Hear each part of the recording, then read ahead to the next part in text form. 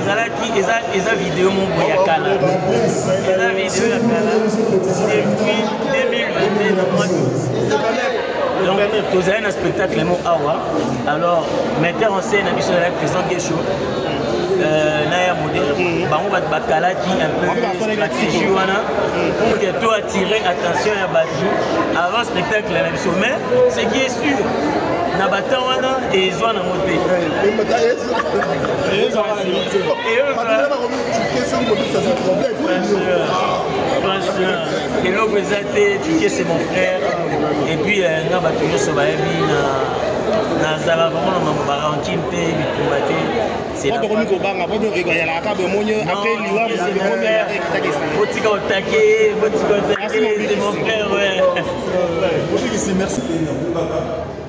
atikala sur terrain ndenge toyebelaki mzee jeff voilà euh, par rapport ya cotisation tolobaki moto nio na misala mpe bango alliance franco congolaise ndenge akala mais centre culturel de lemba awa tokoveille awa mercredi et jeudi le 9 tokoki kokunda ye tamaki boyeba cher collègue que ba moyen ya kokunda bandeko na biso ndenge bapesaka bango moyen ya kozwaka traitement ou apesa biso moyen ya kozwa traitement mama denise azwi ba azopesa ba moyen mpo bandeko bakundama dignement dignement et euh, qu'est-ce que nous allons faire nous artistes c'est d'adopter une attitude ya matanga c'est d'éviter des émissions à caractère ba polemique tant que tozoleka na ba na bandeko na biso ba youtube cela ne nous honore pas ça ne nous honore pas lelo so totali souzi qui pouvait croire il y a un mois et lelo souzi ya kokufa tolela ye lelo qui pouvait croire avoir son charme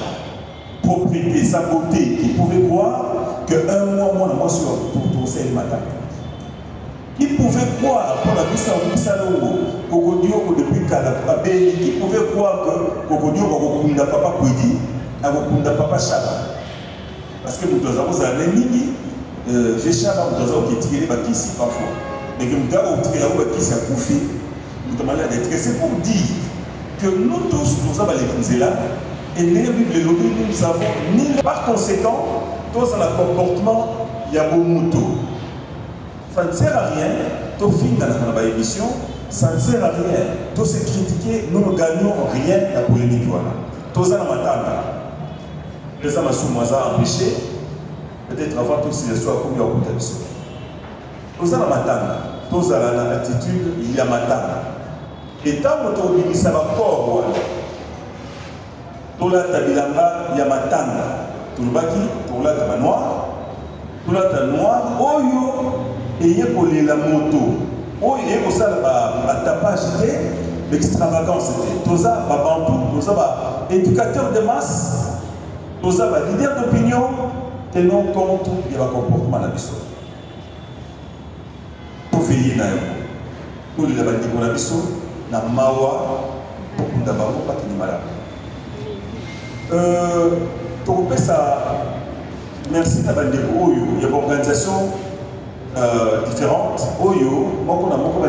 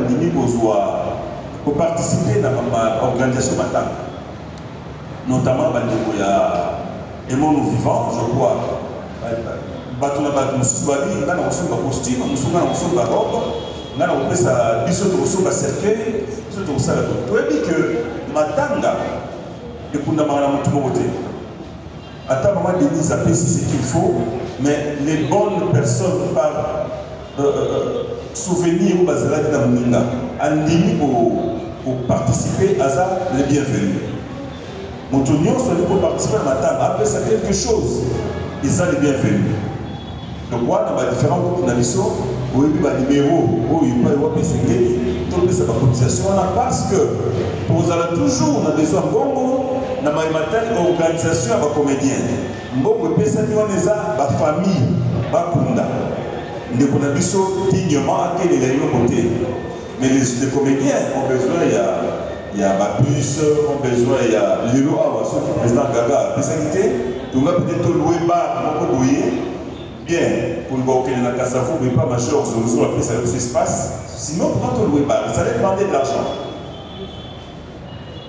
Euh, liste ba cotisation ezali ebandi na minimum 10 dollars. Ozala gêné te na moto apesi plus parce que ezali selon ezweli na ye. On ne fait pas de concurrence. C'est la famille, c'est la fraternité. Oza na 10 dollars pesa kote gêné te. Mokolo oyo okoka kopesa 1000 dollars na organisation okopesa.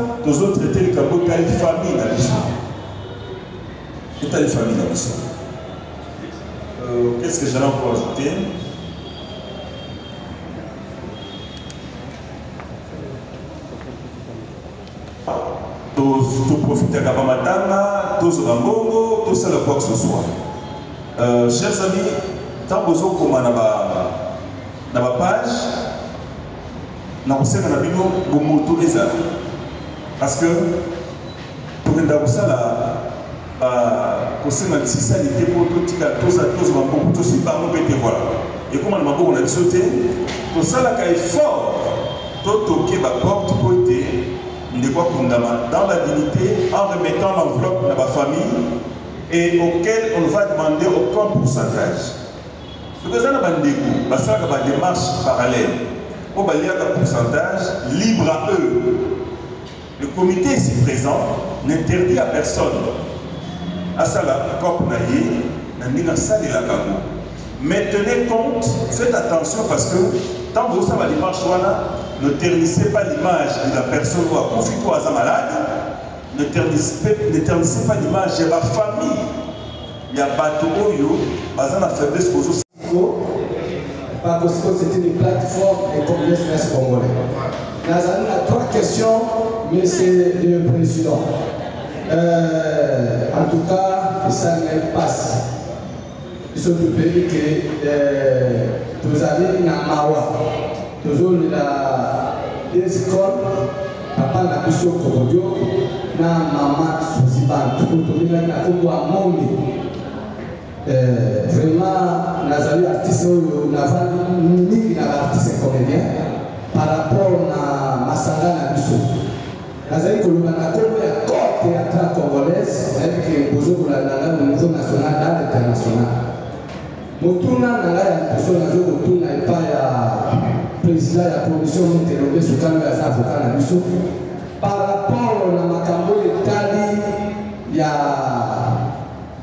ba artiste conteste na sikongola toyebi bien ke na mboka na biso toza na entreprise te oyo tozwaka mpe tozwaka bakashe donc tozovivre na mwa tozovivre na difficulté par rapport na makambo etali ya production toza vraiment na possibilité te lokola batisa mpe mosusu bon tala na likambo oyo tuti komona awa ya kapola muluma asali à peu près 5 mois na nord mwa pasi esali ngai place wana mpo na nord kokodoka kufi mama susi baka kufi bala moko fondation esali geste bon est ce que cagnote yango ezali prévu selemaka mpo na biso bama oyo tozali quand même na carte ya silence santé Ou bien pour la communauté, parce que tous nous sommes des, des artistes congolais. En plus, distinguer première dame, maman Denise Yankelo, c'est notre maman en tant que mère de la nation congolaise. Est-ce que place voilà yongo tozali représentant na kombo ya ANTPC ezali association nationale des artistes congolais congolais comment vous avez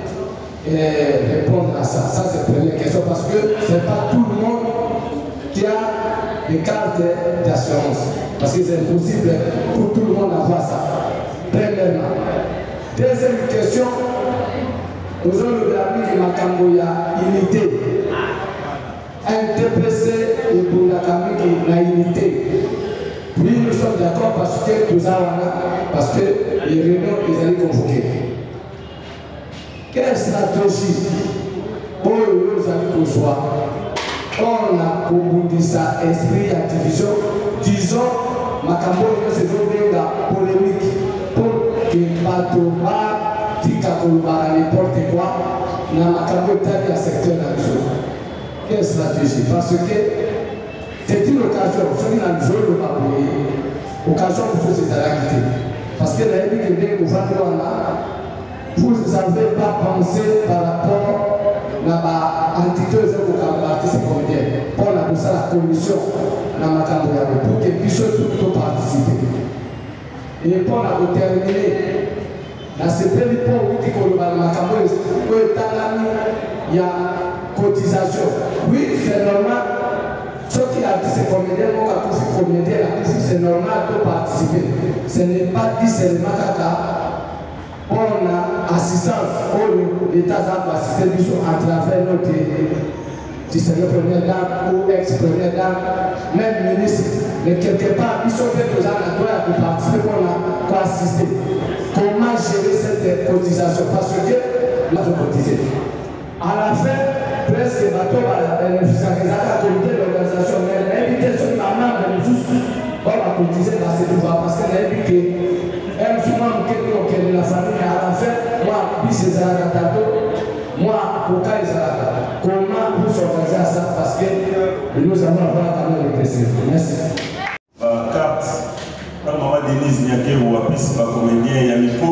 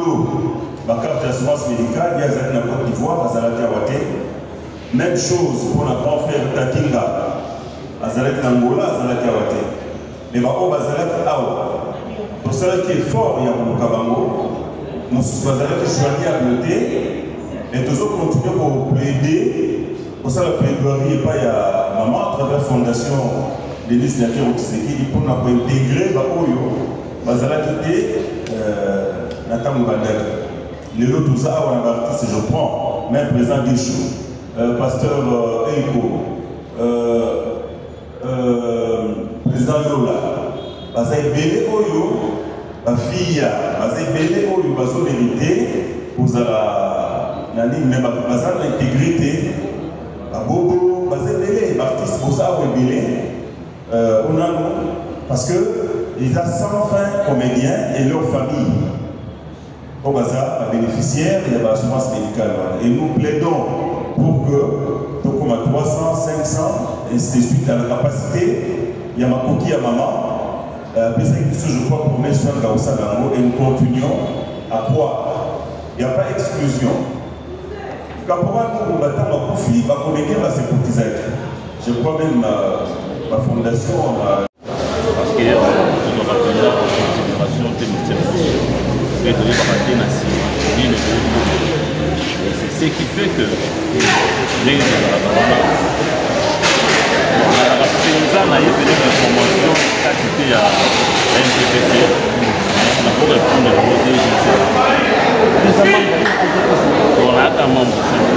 des fois les réunions wana mona leo sima depensa te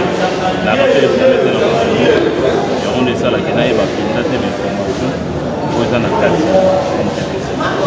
artiste ya comédien kokoyoka azokundama ataki agent leta apelise pour artiste ya comédien akundama ndeko te ndeko te kuna ndeko te parce que mosala wana oyo ya artiste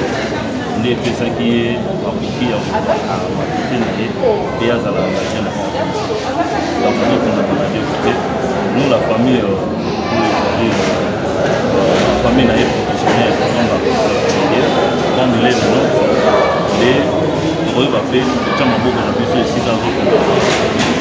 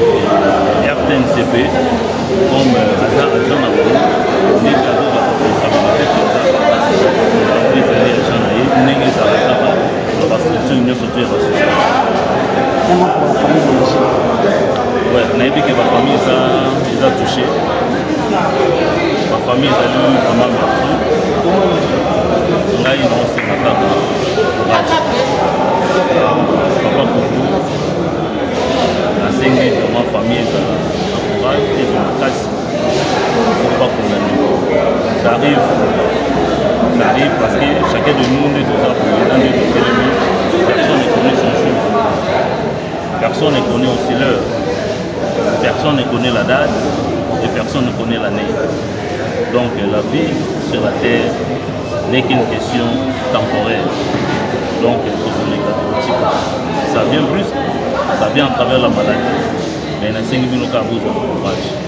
la famille ya famille bantu et ce dieu connaît personnellement courage je sais que mon père aza non jeune azalaki nao na avenir liboso na ye mais te adeside autrement parce que yebi makambo ya liwa tokoloba nyonso tokoloba autour ya liwa mais seul dieu connaît la volonté même le diable même satan même les sorciers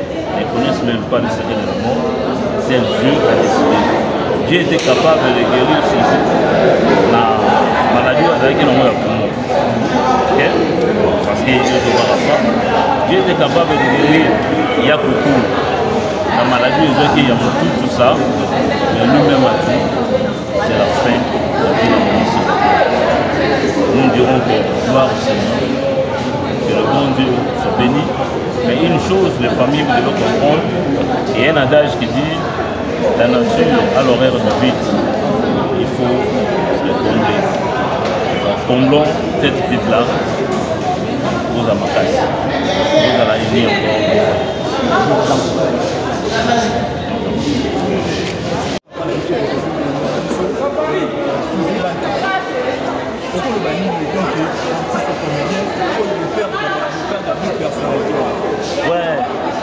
des éléments dans le l'équipe. Donc, euh, batiki tout, batiki tout. Alors, esenga na biso baoyo totikali na ekipe totya molende kua parce que baélément oyo bakei bino mo boyebi ye ata nalobi te donc euh, boyebi ki ye suzi bantu boyebi ki ye kokodioko euh, donc voilà eza eloko mo boye esengaka biso totravaille malem malem toyeba kozipa tro wana mingi mingi mingi c'est ma mère donc c'est ma mère je blague beaucoup avec elle je blague beaucoup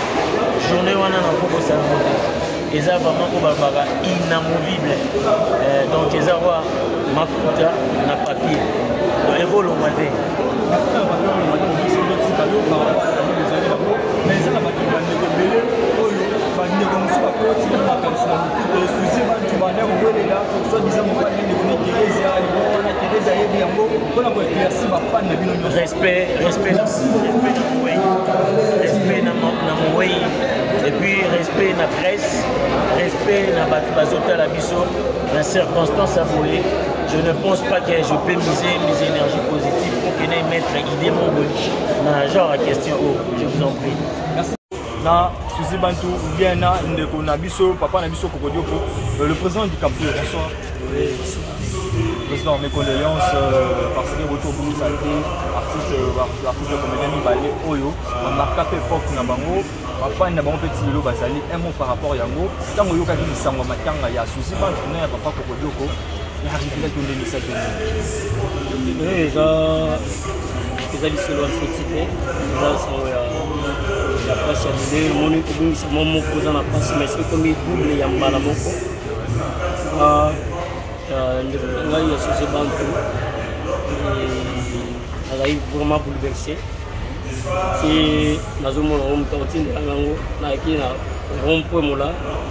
e natelema mwe 45 minutes na bouge te bato kuna moto bayosimba ngai parceke aza aza ndeko famille aza tosala na ye na ebele toyebani makambo ebele ebele mwa surpris oyokaki maladi asabelaki na ye mais mpasi azolaki na ye epi koti biso boye na temps oyo na moma oyo kasi elobi nango lisusu tobakisa koya koko bato bayebi deja ke likaku yo mona ya bayaya wana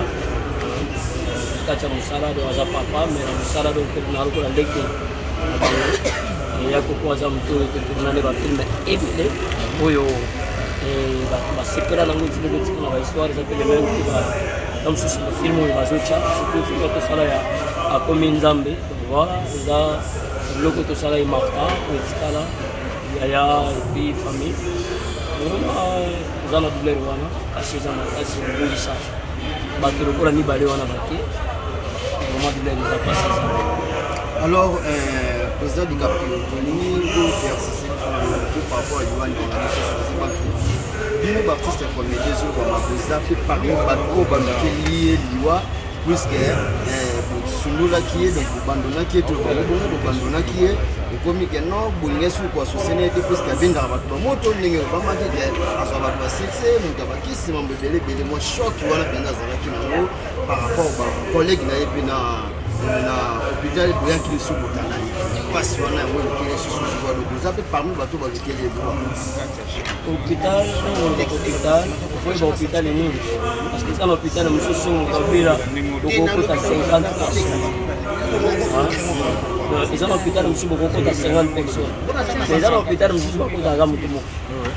oyo oluka koyeba hôpital ntango wana bake bato hôpital bakenda otala ete na hj jamais eza kaka moto azobela epuis garde azalaka te tout le temps na place mbeto oye nene azali eza mpasi mpo bato bazala 3 4 5 batala moto bafo moto aya na tour na ye epuis ezala eh, soki soki ya moto neti azali na coma omona ye meme ata bandeko bafamille soki ne bango membre famille eza bato biso nde akota ekoma tya biomona ekamba bilanga donc eza na mopital organisation ya mopital par rapport ya bandeko nde bakotika mopital donc mopital wana bato bazalaka te koamele to apelaka te na makambo oyo toyebi te ngai nayebisaka bato bato meme foke eloko oza na connaissance yango loba wana connaissance yango tokoloba te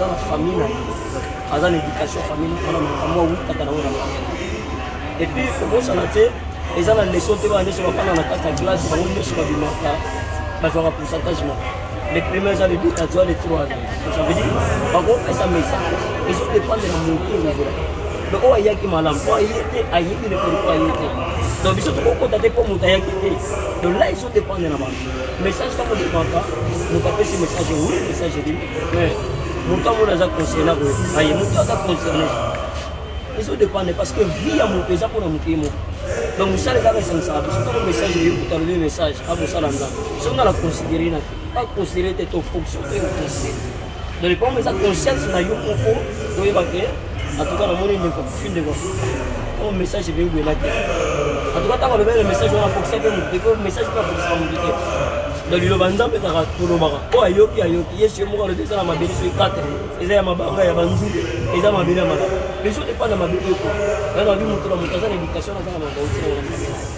donc ndenge akoteli na famille oyo baetika ye na mosusu oyo mosala nzambe alobi akoyoka ma mosusu baetika ye ke wana etali biso te eh, moto biso mpo aza katholike moto biso mpo aza kimbangisi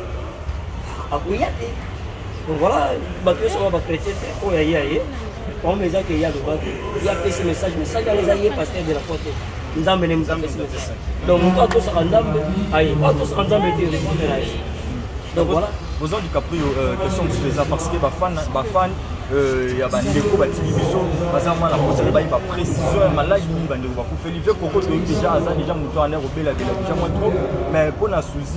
bantu bantu ebele balobi sepelisi ndekone mpe ya mwasi oyo tozoconfirme te mai ndenge nkombo ezotangama ndekone theresia c'est comme si ye mpe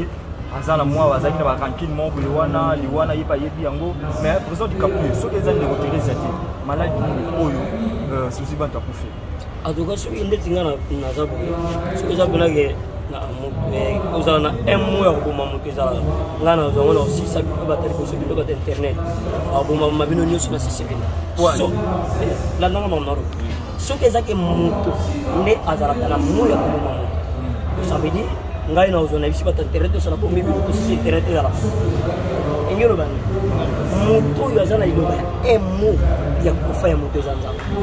okobwakela moto ngai ngai na otosala accident moto moto akufi sur place me ngai nde nakende moto nabukani te nasala eloko te me moto akufi sur place donc bakende kaka okunda me tosali compétition na biso mibale donc moto ake na charge ya kilo nga ngai nde binange nakufa me nabukami me natelemi donc ça veut dire vie ya moto eza na maboko ya moto te ya moto na moko eza mpe moto na liloba eh, ata avion ti likolo esali kina soki nzambe alobi moto akofaka donc botyango na motu teke nde toza betwa na liloba ya kokufa soki bongo baprésident na biso nanu ya congo ndenge baoluka la oboma bato nyonso basila na bango mpo congo eleki bato ebele bakosupporte bango te ozali vi ya moto yaka na nzambe okolongolake nani abomaki nani abomi te akofi volonté ya nzambe mais apart volonté ya nzambe yango totoyoka papa elombe ayebisa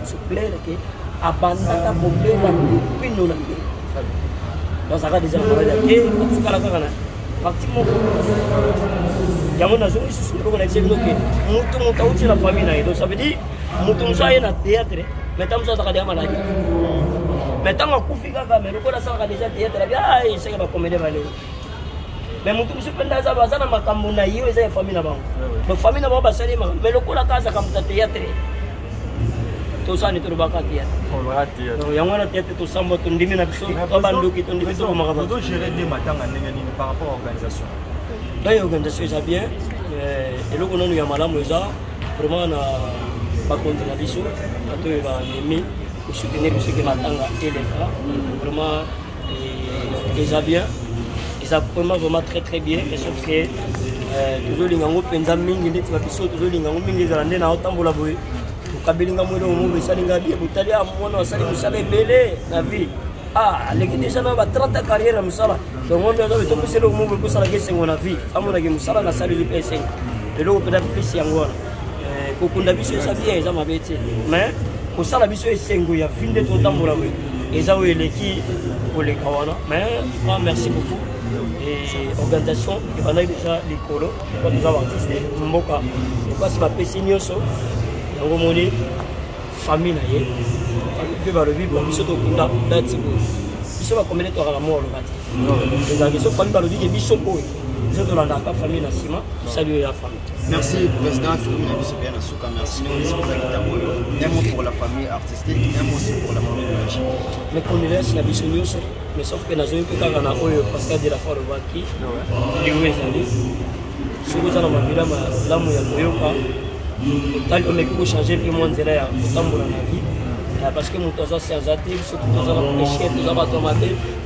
mais omeke mpe koluka kokumisa